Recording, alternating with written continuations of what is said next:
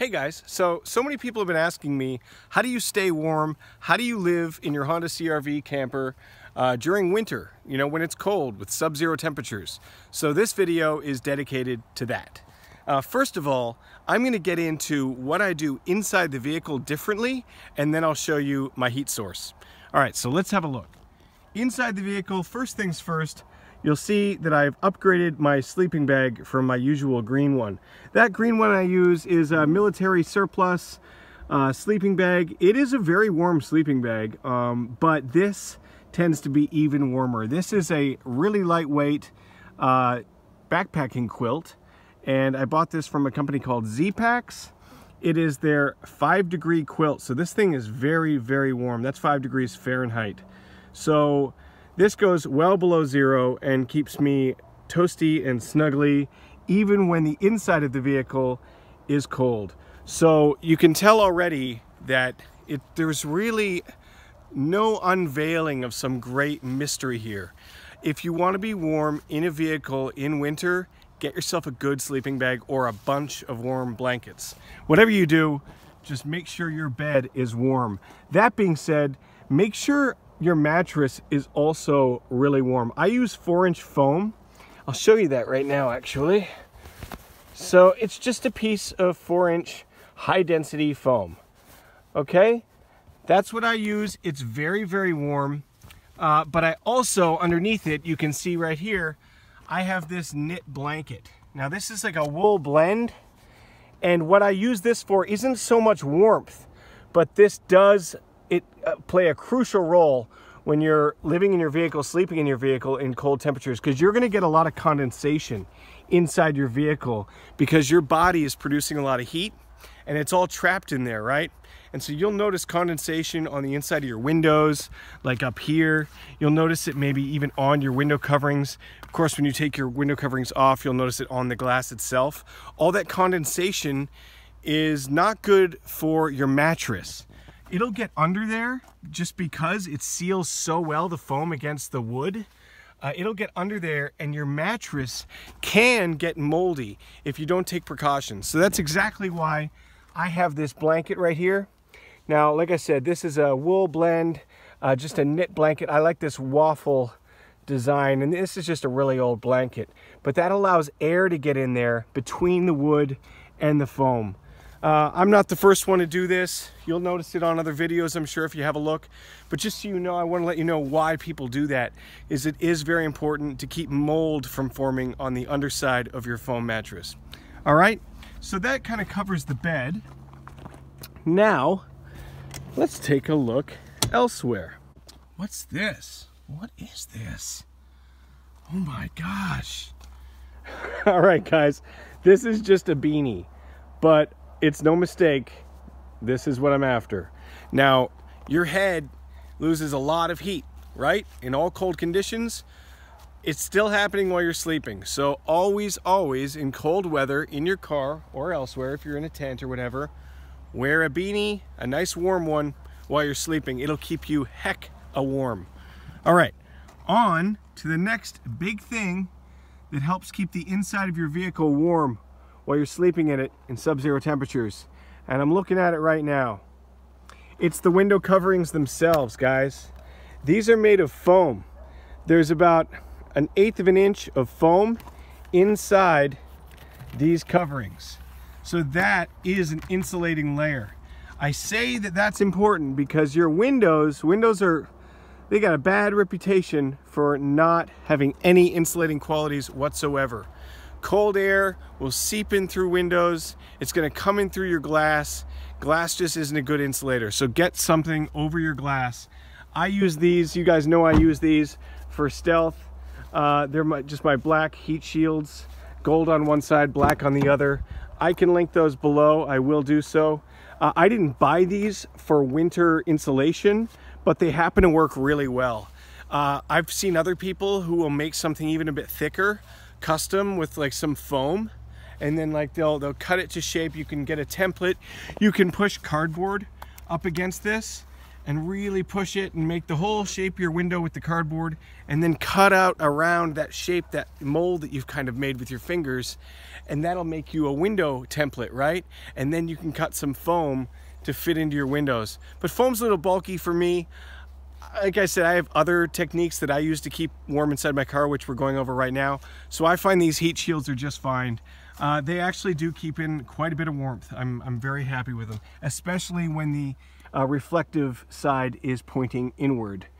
Uh, okay, so that is tip number two. Get yourself some good window insulation, guys. Or tip three, actually, because the beanie was number two. Okay, so on to the big one uh, that people have been asking me about. Do I have a heat source? Yeah, I, I do, actually. So what I do is, let's actually put this back up. This is the vehicle in just regular old camper mode, okay? Got the uh, driver's seat pushed forward, got the shelf deployed, I've got my seat here.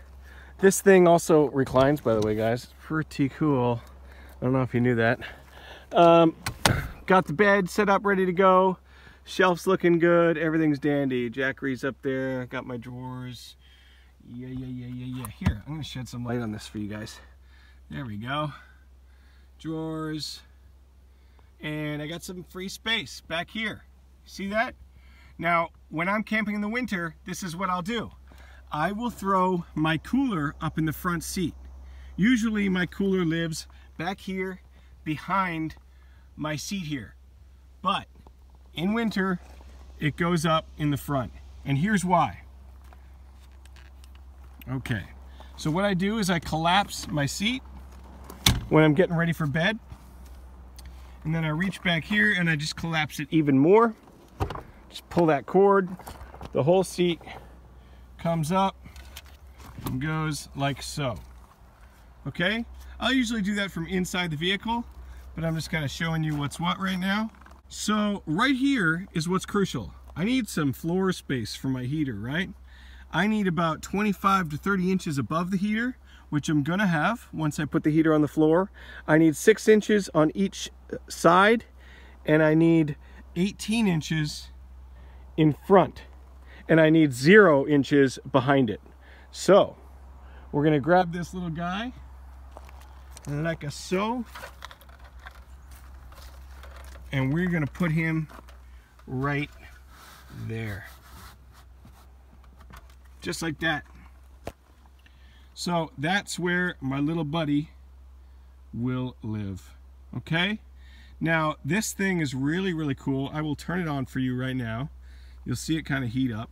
But before I do so, I'm going to want to move that cord out of the way.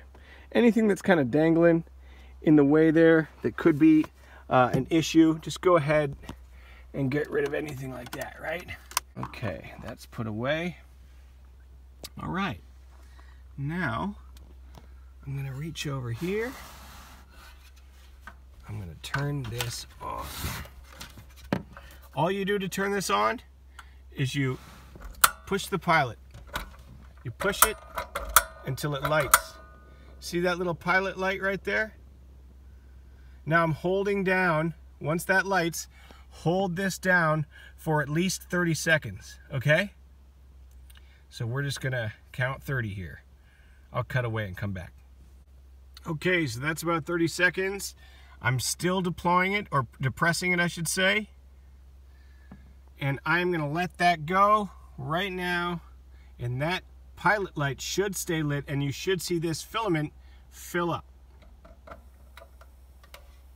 There we go. There it is. Okay, so now it's lit.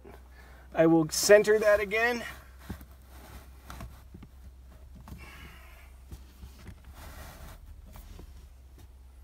I'm comfortable with that. Got six inches on each side. I've got 30 inches above it or more. And I've got plenty of room at uh, 30 inches again, probably right here.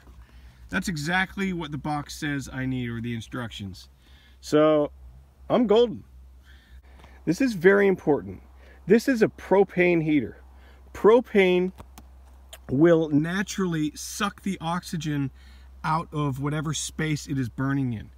All right, so for this to work and for you to be safe while you're in this car and the doors are closed and you're getting warm, you do need to crack a window. Okay, you need to crack a window at least two inches or your sunroof or however you do it, okay? You need to have some ventilation. It doesn't have to be a ton, but you do need to have ventilation. Please remember that. If you don't have ventilation, you could die of carbon monoxide poisoning.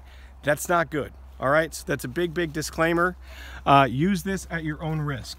All right, guys. Now, this heater, though, I should mention, it is rated as indoor safe, meaning it has an oxy oxygen sensor on it.